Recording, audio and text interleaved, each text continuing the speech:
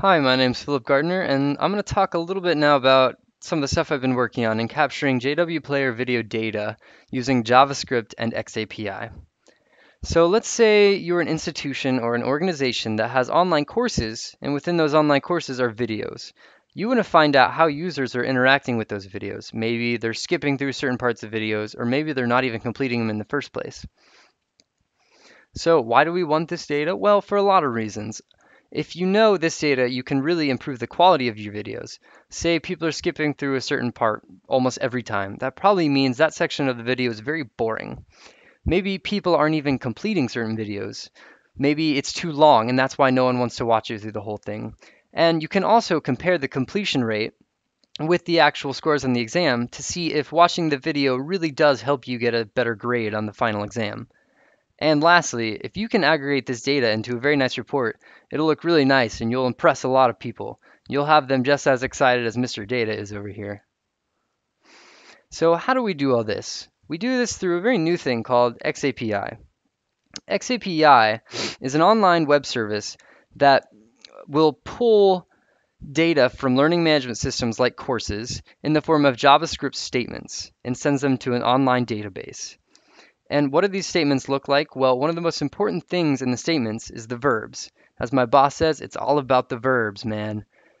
What kind of verbs would, would we be talking about when we're referring to a video? Well, verbs like paused, played, skipped, that sort of thing.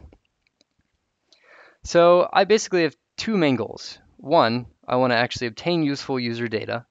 And two, if I can obtain it, I want to report it and I want to make it user friendly so that you don't have to have a four year computer science degree to actually understand what's going on with the videos.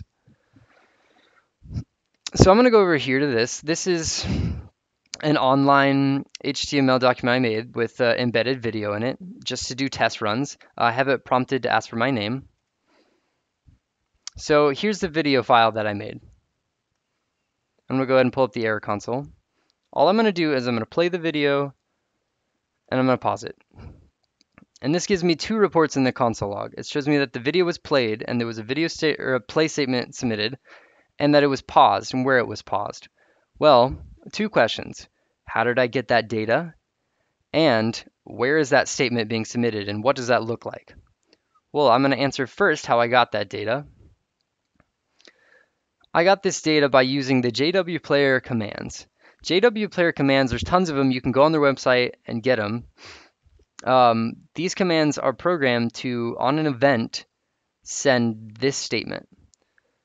So what event? Well, it's the on pause function, which means that every time a user pauses a video, it sends this information to the online database.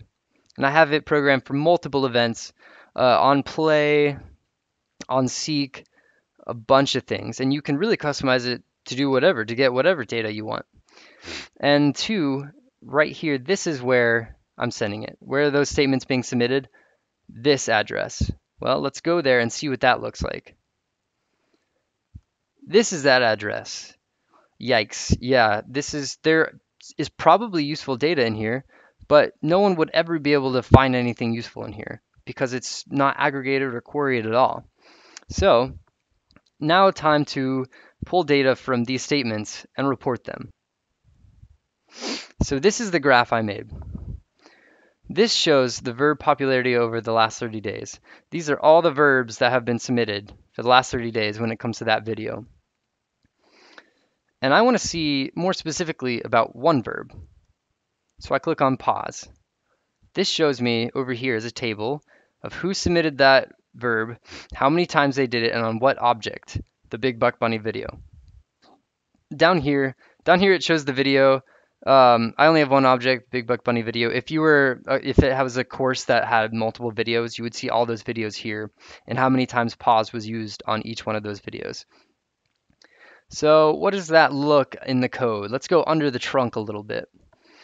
Um, go down, I'm going to go down to my first graph. Right here, this is this graph. So if you see, the variable is verb chart. And I have it container stuff for all the, the C CSS. Um, I have it in descending order.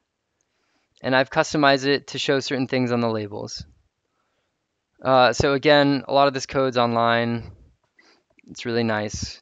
Um, but more specifically, how did I get these graphs to be interactive? How did I get these graphs to change whenever I hit a certain verb? Well, this is right here. This is the parent graph. If we go down to the very bottom, uh, this is where I actually draw that first graph that we just looked at. What I did was, uh, XAPI has a very cool thing where if you use the dashboard, you can put other graphs as children graphs of the parent graph. So I have these three, these two charts and this table all as children of the main graph. So this is the parent graph right here. These three are its children charts and graphs. So all of this is 100% interactive. You can query for any data you want just by the click of a button, and it all comes out in these nice graphs and tables. So I just have one more thing to show you, these two other graphs that I made. Uh, this is a line graph of just basically the overall traffic. Uh, you can, you would make uh, one of these graphs for a certain video. Uh, this shows how many verbs are being submitted in that video, how many people are interacting with it basically.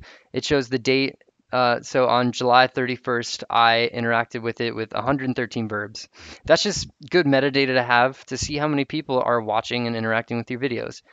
And down here, uh, sort of the same thing. You can just see who's interacting with your videos, what users are interacting with your videos. Maybe one of these users completed a class, yet they hardly interacted with videos.